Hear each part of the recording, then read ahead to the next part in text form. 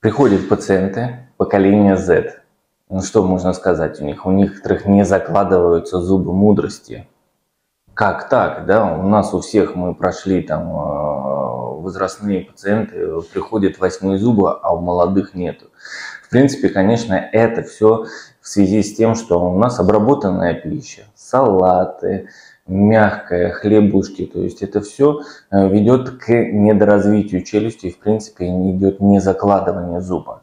У наших предков вообще были девятые зубы, которые в практике моей встречалось ну раз 30-40, я не знаю, но это было тоже у кого-то сверхкомплектный зуб мудрости.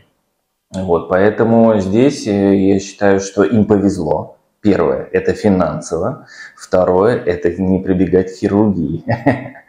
Поэтому будем считать, что им реально повезло.